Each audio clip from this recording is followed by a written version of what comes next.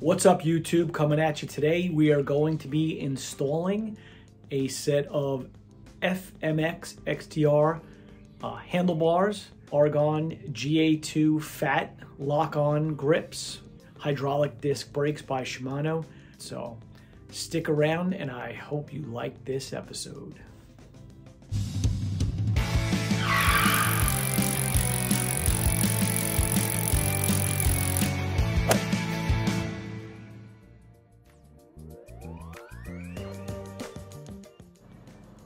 We're going to use the number 5 Allen key and we're going to remove the bolts on the stem.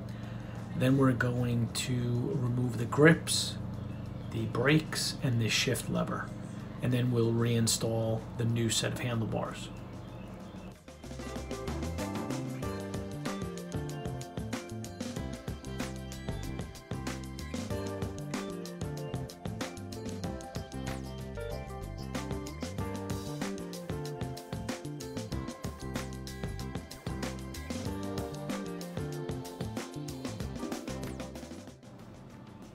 I'm just going to use a razor and cut off the grips since we're not going to be using these for anything else.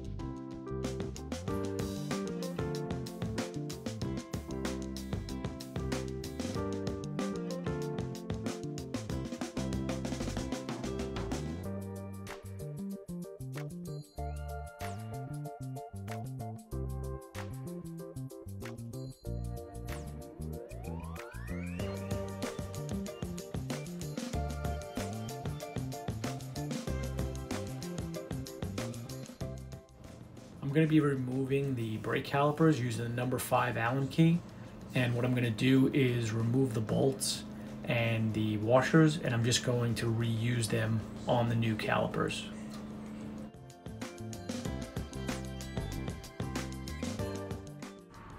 I'm going to use a flathead screwdriver to just pry open these plastic uh, cable stay downs and then I'm just going to replace these with zip ties.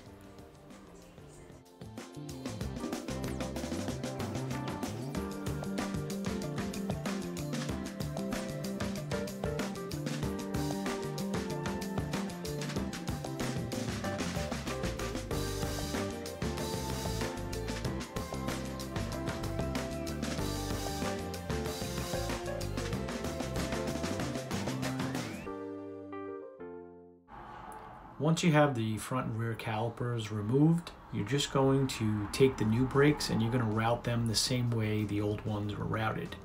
If you have to shorten the cables, you can look that up online and it shows you how to do them.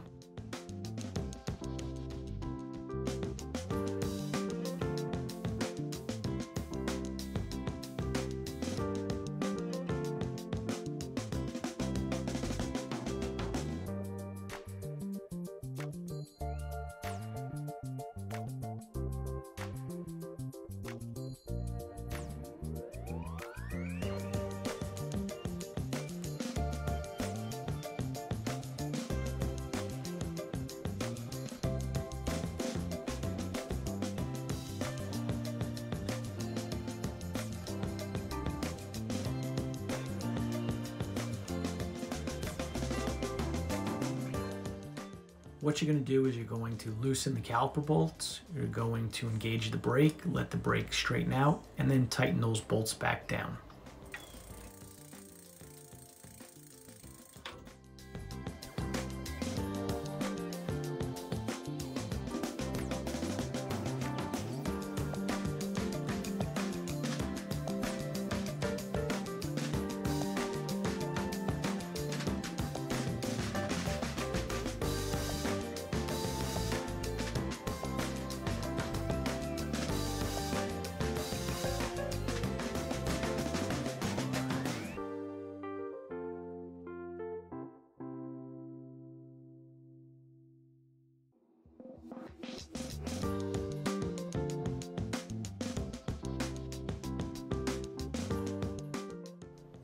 Same thing for the front caliper. You're going to loosen the bolts. You're going to engage the brake. Once they find that center point, you're going to tighten them down, spin the wheel, and you'll see that they are lined up properly and you don't have any rubbing.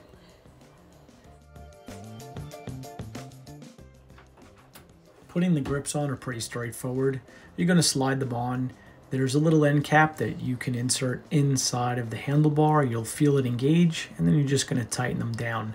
There is a little up indicator on the grip. You just want to face that up and then tighten down the bolt.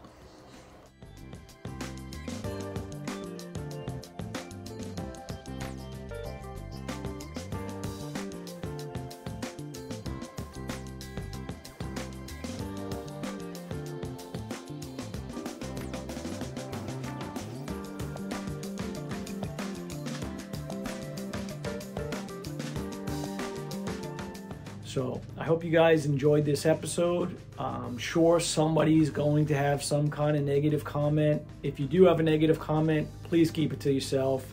If you don't like the video, just don't like the video. Turn it, go watch somebody else. Guys, always stay safe and I'll see you on the next video.